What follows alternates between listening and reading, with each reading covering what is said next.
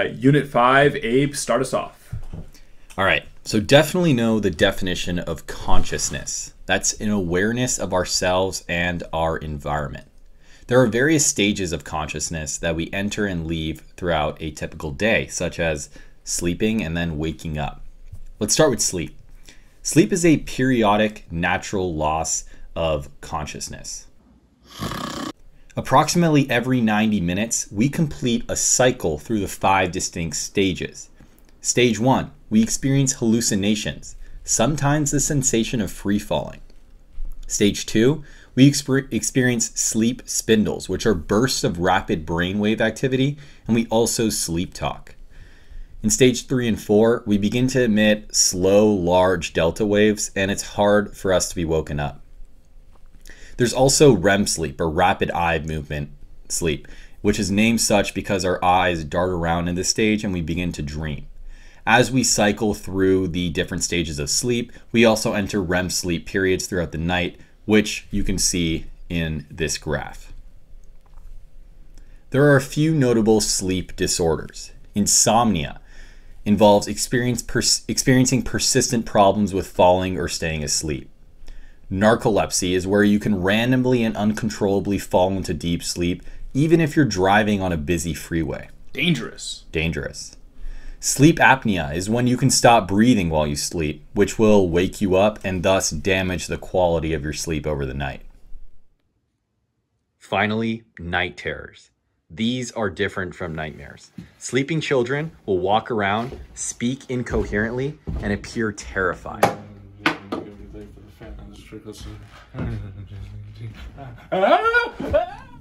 Let's make a few comments about why we dream. We dream to satisfy our own wishes, to express unconscious desires that we wouldn't want to express directly, like making out with our secret crush. We dream to improve memory, since dreams help us sort and fix experiences into our memories. And our dreams also reflect cognitive development.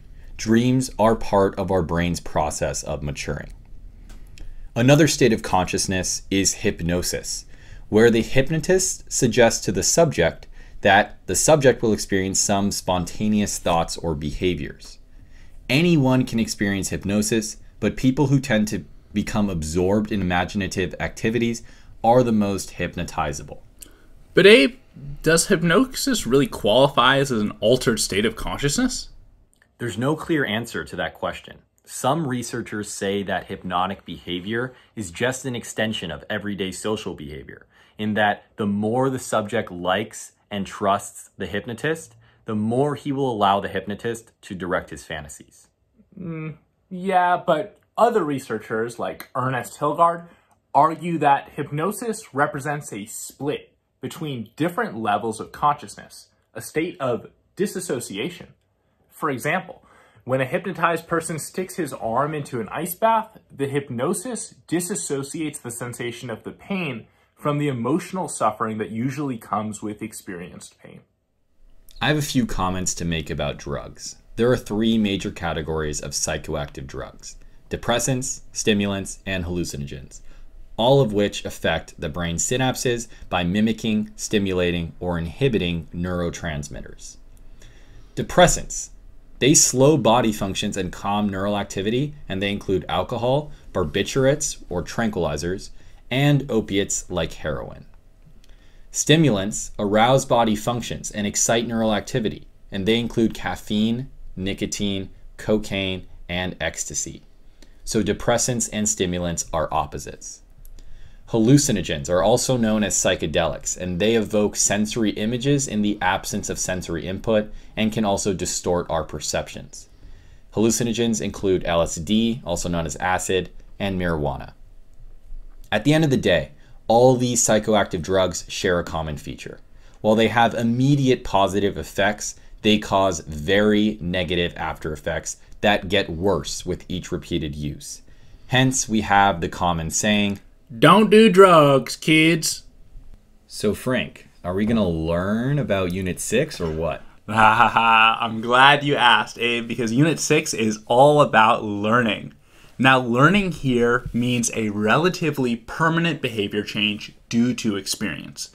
And Myers delves into three types of learning classical conditioning, operant conditioning, and observational learning.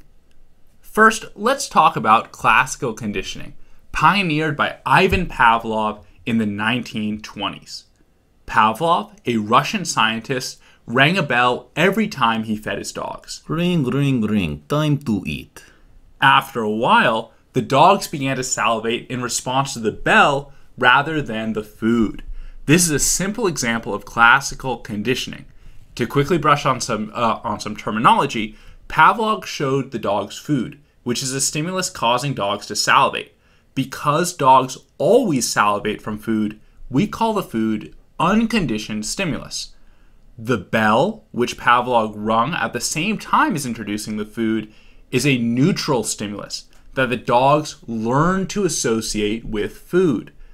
As the dogs built the association between the food and bell, the bell became a conditioned stimulus, causing salivation in dogs. These same mechanisms underpin other important concepts such as learned helplessness and higher order conditioning.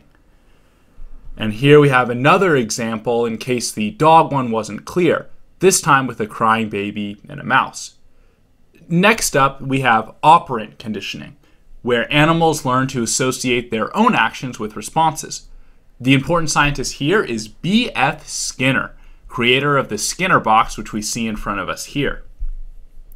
The box contains a bar that the rats inside can pull to disperse pellets. And what we saw was that, over time, the rats got faster and faster to pull the lever when they were hungry. In other words, they learned that pulling the lever gave them food. Operant conditioning like this is extremely good at shaping and reinforcing behaviors, and we commonly use negative and positive reinforcements with our children and pets. Researchers have also observed that varying the reinforcement schedules, in other words, how often the rat gets food from pressing the bar, has a role to play in conditioning. For example, if the bar only yields food one half of the time, the rat will learn much slower. The third and final form of learning we'll cover is learning by observation. This type of learning occurs without experience, unlike the first two and we only see it occur in smarter animals like humans, monkeys, and octopus. That's because we have a thing that most animals do not, and that's motor or mirror neurons. These are neurons that fire in reaction to our peers' behaviors and emotion. It's why we're scared when we watch horror movies, and why we wince when we see others get hurt. These principles were first uncovered by psychologist Albert Bandura in 1961. In his famous Bobo doll experiments, Bandura had some preschool kids watch adults punch, kick, and yell at the doll, basically a big pinata. He then put a bunch of kids alone in a room with only crappy toys and the doll, and all the kids that had seen the adults attack the doll also attacked the doll as well. This showed that violence and aggression could also be learned through observation, with interesting implications for TV and video games. So, to come full, uh, full circle here, we first looked at classical conditioning. The example here would be the boss plays the song Sweet Home Alabama on the speakers when he hands out bonuses. And now, whenever you hear the song Sweet Home Alabama, you're in a really great mood. Uh, second was operant conditioning. Example would be a boss gives an employee a bonus every time the employee turns in a report early. So that means that the employee is going to return in employee uh, reports early very commonly. And finally, observational learning. An employee learns how to give presentations by watching their more experienced superiors. So the three types of learning that Myers covers. Memory. That's learning that has lasted over time. It's information that can be stored and retrieved. There are three stages of memory encoding, getting information into our brain, storage, retaining that information, and retrieval, getting the information back out. Let's start with encoding. Our brains are capable of parallel processing, or processing many aspects of a problem at the same time. You might engage in effortful processing, or encoding that requires conscious effort, if you're trying to learn some new vocab words. But the fact that you might also remember the layout of the page in your notebook on which a certain vocab word and its definition were written is evidence of automatic processing or unconscious encoding of information. The amount of information you remember depends on the amount of time you spent learning and on if you made the information meaningful. For example, actors memorize large scripts by understanding the flow of meaning in their lines. An actor might say, okay, this part of the dialogue is meant to flatter. This part is to make my friend comfortable, and this last part is to assuage his concerns. Chunking, or organizing information into familiar, manageable units, also helps with memory. Mnemonics are one form of chunking. So if I was having trouble remembering the names of all the girls who rejected Frank when he asked them out last night, I could just remember Bishop Brittany, Isabel, Sarah, Hannah, Olivia, Paula. Hey man, Hannah almost said yes. I don't think so. Let's move on to storage. The theme here is that our short term memory sucks while, while our long term memory is very powerful. Limitless capacity. Yes. We only retain about four information chunks in our short term memory at a time. So if I gave you a list of four objects like soda, tree, cup, cereal, you'd probably be able to repeat the list back to me, but it becomes increasingly difficult as the list stretches on but beyond four information chunks. chunks. On the other hand, our capacity for long term memory is limitless. Our brains don't have a storage limit, uh, like a limit where after we have to delete old memories to make room for new ones. And by studying victims of amnesia or memory loss, we've drawn a distinction between implicit and explicit memory. Implicit memory is remembering how to do something, like ride a bike, even though you might not consciously know that you know how to do this activity if you have something like amnesia. Explicit memory is the ability to declare that you know something. For example, when people with amnesia read a story for a second time, they'll read it faster, which demonstrates implicit memory. But if we ask them if they've read the story before, they'll say no, demonstrating that they lack explicit memory. Note that the hippocampus is essential for processing explicit memories for storage, while the cerebellum is key for storing implicit memories. Finally, let's cover retrieval. Think of your memory like a spider web. Each piece of information is interconnected with many others. And when you encode information into memory, you associate it with other pieces of information about your seating position, your mood, and your surroundings. These pieces serve as retrieval cues, basically anchor points you can start from to ultimately access the information you want to retrieve. The more retrieval cues you have, the better your memory of the target information. Context also influences our memory retrieval. If you memorize vocab words in a library study room, it'll be easier for you to remember them in that room than it will back at home. And if Frank gets sad because yet another girl rejects him, he'll be more likely to recall other sad memories in his gloomy state, like when he was the first person in the world to score a zero on the AP Psych exam. Hey, that's not true. Maybe. Any discussion of memory wouldn't be complete without some notes on forgetting. There are three types of forgetting encoding failure, storage decay, and retrieval failure. Encoding failure occurs when we don't put enough effort into processing information into our memories. Storage decay describes how, after learning something, we initially forget a lot of it quickly and then our retention levels off. And you can see this behavior in the curve on the slide. Retrieval failure occurs when information is in our memory, but we can't access it since we don't have enough information to retrieve it. Basically, we can't find a retrieval cue. Abe, you know your state capitals, right? Of course. What's the state capital of Arizona? What Where is, is it, it? Abe? Where is it? Where is it? Where is it? Another note misinformation can change the construction of our memory. If someone sees a light car accident, but is then asked leading questions suggesting a more severe accident, such as, How fast were the cars moving when they smashed into each other? This person will actually begin to remember the accident as being more violent than it actually was. And this is called the misinformation effect. So let's look even deeper into the bag of tricks our mind employs to effectively remember our experiences and form judgments on what's going on around us. We form concepts or mental groupings of similar objects, events, ideas, and people.